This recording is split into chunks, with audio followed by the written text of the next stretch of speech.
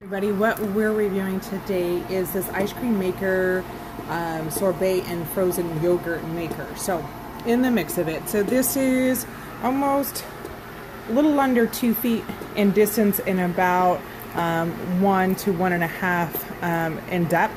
Um, it's about 24 pounds or so. Uh, let's, it's got a fan on this side, fans on this side, fans all around because it does get a little, I'm quite sure because it's a freezing unit in here um, in, in this side of it. So super simple to use. Um, as you can see, it's actually going right now. So this top twist off. Um, if you wanted to add things in the middle, you could add lift this up.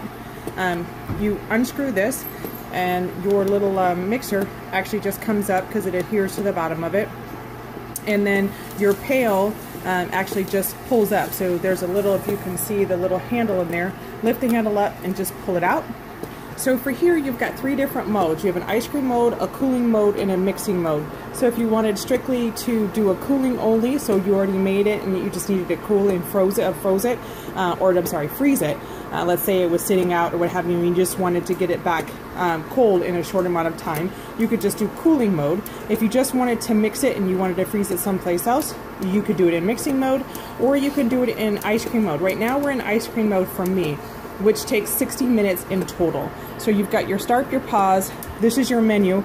You click this to go to each different one, and this is your power. And if you needed to add time or subtract time, this is how you do it as well.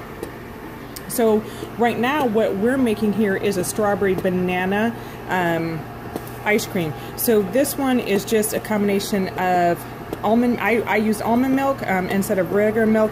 Heavy cream. Um, I did half and half of heavy cream and, and almond milk and sugar, bananas, and strawberries. So we're almost halfway there uh, as far as what it's gonna be. I right at this point, I do believe this is 2.1 pints. Um, um, I do believe it's 2.1 pints. Um, could be 2.1 quarts. I can't remember which one it was. So it's one of the two. Might be 2.1 quarts. But at this point, I can say it's pretty easy to use. It, it looks like it's curing it and, and mixing in it pretty well, um, but we'll see in a little bit. I am taking pictures um, of the end result so you can kind of see what it looks like too when it gets done, but we've got another 37 minutes to go before it's done. So um, hold tight and I will get some pictures together for you guys when it's all said and done.